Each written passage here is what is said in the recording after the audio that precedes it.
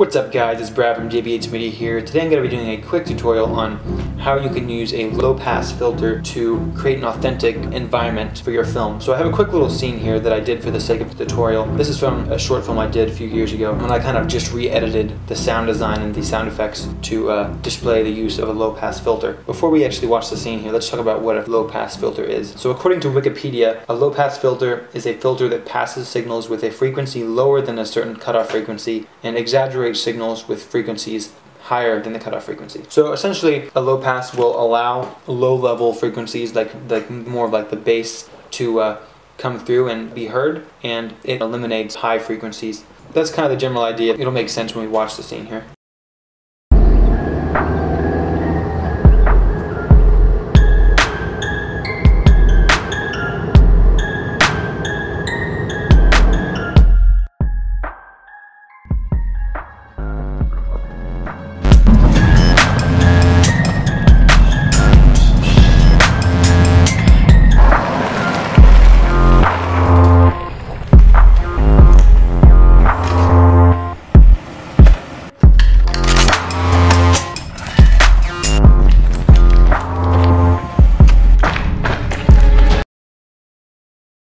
As you can probably guess, I used the low pass filter in this scene on the track in the background, Ice Flow. It's the uh, beat that we have in the background. Um, and this guy in the car is supposed to be listening to it. So what I did is I added a low pass filter whenever the camera was outside of the car looking in at him.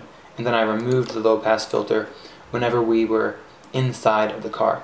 And what that does is it kind of it creates that um, low beat like like the music is coming from the environment. The music's not like a score like you'd normally see in movies. Okay, so going through the scene here, we have our first shot.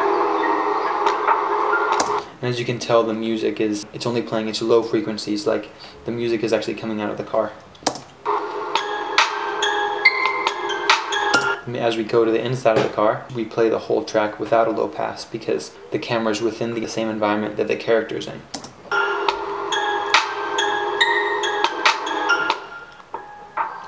Again, we're outside of the car, so we eliminate some of those high frequencies.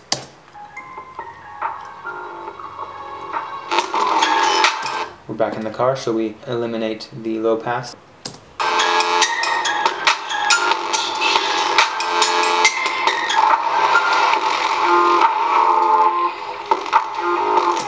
Once again, we're outside of the car, so we add that low pass filter to make it seem like the music's coming from his car.